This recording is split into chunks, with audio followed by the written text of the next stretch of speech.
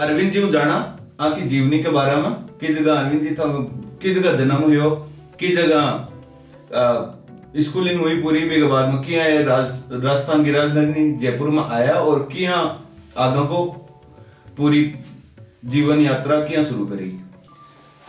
राम राम, और जो छायाकार बंधु है, प्रिंट मीडिया, इलेक्ट्रिक मीडिया ने सगला राम राम। मारो जन्म गाँव शिनोद, जिला नागौर में उड़ो है। अपने मोटा मोटी नागौर में खड़नाल खरनाल के पास चार पाँच किलोमीटर दूर है खरनाल हूँ हमारी शुरू वाली पढ़ाई सारदाबाल विद्यालय है नागौर। नागौर प्रॉपर नागौर। प्रॉपर नागौर में बट हमारी हुई और बारहवीं क्लास में आपने सीकर आदर्श पब्लिक स्कूल ही बांधन करी। फिर एक साल ड्रॉप आउट हो उसके बाद अटे आपने जयपुर आके आरएस की तैयारी शुरू करी। फिर आपने एल कॉलेज के अंदर एडमिशन लियो। एडमिशन लियो रेगुलर। जाता कर टाबर आता दूर दराज गाँव और बांधे कर कॉलेज के अंदर समस्या हुए कई चीज़ें हुए, कोई छोटा मोटा काम बड़े पड़े जना भी चक्कर में कोई पॉलिटिक्स में इंटरेस्ट हुआ लगी। कोई गाँव जाओ था तो एक अधिकारियों की तुलना में कोई नेता गिरी करता छोरा और नेता हर जगह M P M L A बने मतलब थोड़ी बात करने हिचकिचाता कौन अधिकारी के जाऊँ तब बात करने हिचकिचाया करता।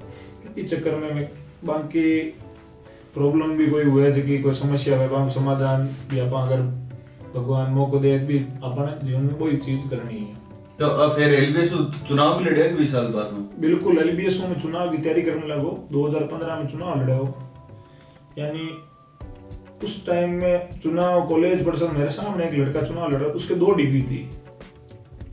तो मैंने वहाँ पे कॉलेज प्रशासन में मांग की भी इसको दो डिग्री फार्म रिजेक्ट करना चाहिए। लेकिन कॉलेज प्रशासन ने फार्म रिजेक्ट नहीं किया फिर नादानी में उस टाइम कोई घटना घट गई तो कॉलेज प्रशासन ने चुनाव बंद कर दिया। अच्छा चुनाव कैंसिल होगा अभी साल? चुनाव कैंसिल हो गए थे। हम्म। फिर एक मुद्दा ऐसा हुआ था राजस्थान की राजनीति में जब हनुमान जी बेनीवाल के ऊपर हमला हुआ था जोधपुर पुड़िया के ऊपर। हम्म।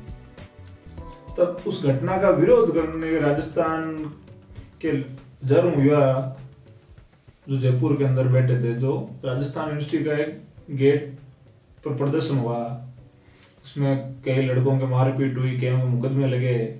उस मुकदमे उस मारपीट में मैं भी शामिल था। तो मेरा मुकदमा लगे मेरा मुकदमे नहीं लगे थे उस मामले में। मेरे ऊपर मारपीट ज़रूर हुई थी। मेरे सर पे चोट भी आई थी।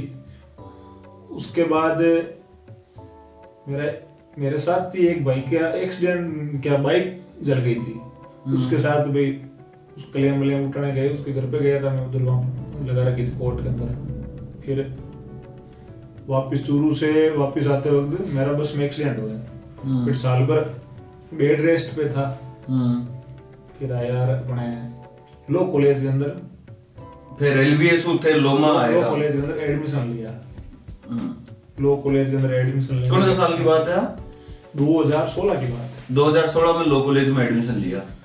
लो कॉलेज के अंदर एडमिशन लिया।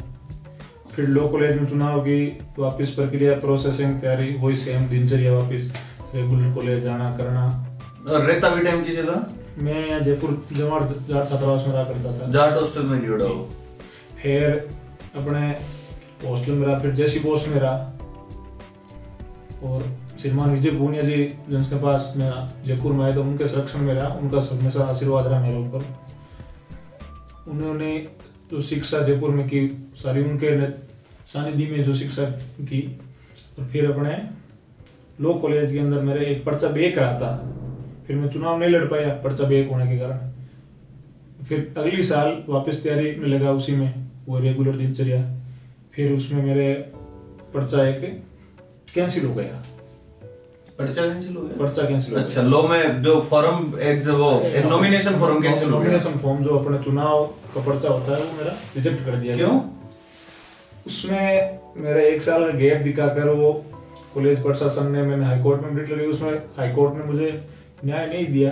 फिर अगले साल मैंने लो कॉलेज से चुनाव लड़ा तो बहुत करीब मतों से चुनाव हार गया तीन वोट दो, दो तीन तीन वोट का फ़र्क था। तीन वोट का फ़र्क था। फिर निरंतर वापस वही चुनाव हारने के तो लो में चुनाव फिर कौन से साल में लड़ा? 2019 में। 2019 में। तो तीन वोट से चुनाव रह गया। तीन वोट से चुनाव रह गया था। और फिर अपना ऐसा हुआ था कि भाई उन्नीस में चुनाव हारने के बाद दूसरे दिन से वापस लग गया था। जिसमें अपने Rajasthan college Maharaja college Maharani commerce college और राजस्थान यूनिवर्सिटी कैंपसों में रेगुलर जाना शुरू कर दिया था भाई। उसी दिनचर्या के हिसाब से जो नियमित दिनचर्या थी तीन सौ पैंसठ दिन काम करना। फिर विद्यार्थी परिषद से जुड़ा। हालाँकि मैं शुरू से विद्यार्थी परिषद विचारधारा से था। लेकिन कौन से साल में सदस्यता कौन सी साल में ली? उन्नीस में सदस्यता कर ली थी और मैं विद्या भारती शारदावाल से पढ़ा तो यही मेरी विचारधारा थी कि मैं इसी से साथ जुड़ूं। और फिर अपने कोविड आ गया था। तो फिर कोविड की वजह से चुनाव नहीं हुए इलेक्शन तो। हुए नहीं विद्यार्थी परिषद में काम करते रहे निरंतर कोरोना काल में खूब काम किए बाकी जो सरकारें नहीं जहाँ पे नहीं पहुँच पा रही थी सरकार जहाँ फेल हो रही थी वहाँ घरों में जाकर भोजन भी दे के आए वितरित भी किया और हॉस्टलों में सैनिटाइज भी किया सब चीज़ें वो जो आम लोग अपनी नैतिक ज़िम्मेदारी होती है कि भाई समाज के अंदर बैठे हैं उन लोगों के बीच बैठे हैं तो उनकी मदद की जाए, जिस प्रकार से अपन से संभव हो सके। फिर राजस्थान यूनिवर्सिटी में एलएलबी कंप्लीट होने के बाद मैंने इसमें क्रिमिनल लॉ में डिप्लोमा में एडमिशन लिया और 2000 ये 22 का इलेक्शन था, उस इलेक्शन में पार्टिसिपेट किया। विद्यार्थी परिषद ने मुझे अध्यक्ष का टिकट तो नहीं दिया, लेकिन महासचिव के टिकट पे उनको मैंने भरोसा दिला के जीत हासिल की। तो महासचिव का चुनाव कितने वोटों से जीते अपन? महासचिव का खूब वोटों से चुनाव जीते तकरीबन अच्छे वोटों से मार्जिन से चुनाव जीते थे। उसके अंदर उससे पहले खूब ड्रामा हुआ एक सरकार के सरकार के लोगों ने मिली भगत करके मेरा पर्चा भी कैंसिल किया था। अच्छा नॉमिनेशन कैंसिल हो गया था? जी। हाँ मतलब वो नॉमिनेशन वाले दिन फिर उस दिन एक पूरे दिन ये मीडिया में उस टाइम में भी आपने बड़ी सुर्खियाँ बनाई थी। ऐसा कुछ मीडिया तो अपना काम कर रही है हम अपना काम कर रहे थे। उसके अंदर पूरा दस से बारह घंटा लग गया जो अपने चली बेस चली डीएसडब्ल्यू सरीना कालियान मैम थी अच्छी मैम थी उनका सम्मान करते हैं आज भी। उन्होंने वापस जो कोर्ट में हाई कोर्ट से परमिशन लेके आया था उस परमिशन के द्वारा ही चुनाव में एलिजिबल हो पाया था। हम्म। बाद में अपने चलता गए चलता गए चुनाव नतीजा जीत मिली।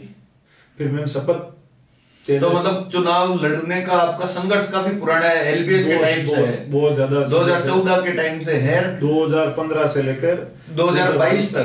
तो आपको सात साल हो गई। बिल्कुल सात साल हो गई जी। और